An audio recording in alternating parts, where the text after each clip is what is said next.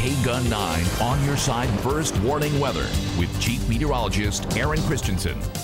Do we have any winter visitors from Indiana in the house? Check out this mess. Indianapolis I 65 uh, causing quite a bit of uh, problems there in the roads. They've had up to 20 inches of snow in some places, and this storm system that's hitting the Midwest and the East is being called polar vortex round two. Nearly 3,000 flights have been delayed nationwide because of the snowstorm, and a thousand flights for tomorrow have already been called off, already canceled. You know, you think about five to eight inches of snow, that's plowable, but when you're talking 10, 15, 20 inches worth of snow, uh, you know, the plows run, they get one good pass through, and the snow already covers the roads uh, once again. Want to give you a look at our satellite and radar. The storm system here along the east coast, believe it or not, is actually going to strengthen our warming trend across the west. Now, they've been dealing with the snow, the rain, the ice, the sleet, the whole wintry mix of precipitation there. But that heaviest band of snow now moving offshore with that area of low pressure this evening. And in its place, the really bitter cold air begins to settle in. Single digit temperatures for parts of the Midwest and the eastern seaboard by tomorrow.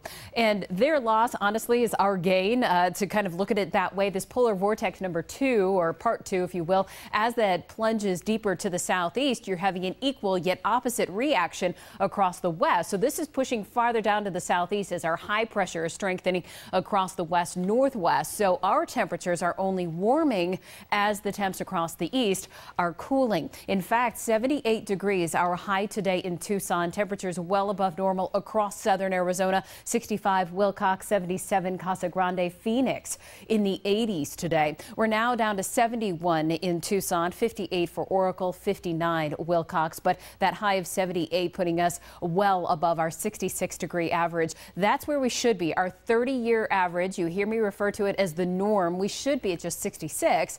We were a lot closer to that 81 degree record. By the way, with those clouds that are starting to roll in this evening, you might have some difficulty spotting the constellation Monoceros. But if you do, it's worth the look because the Monoceros unicorn constellation is kind of an elusive one. You don't get to see it all that often. Uh, only visible in the winter skies here in southern Arizona. And if you can spot It's going to be just below that. If you're out and about still at about midnight or you want to check out our moon, you'll be able to see the red planet Mars just below it uh, and just to the north of the star Spica, which is right along the horizon. Those clouds continue to stick around for our day tomorrow. In fact, partly sunny skies, and that actually means more clouds than sun for us.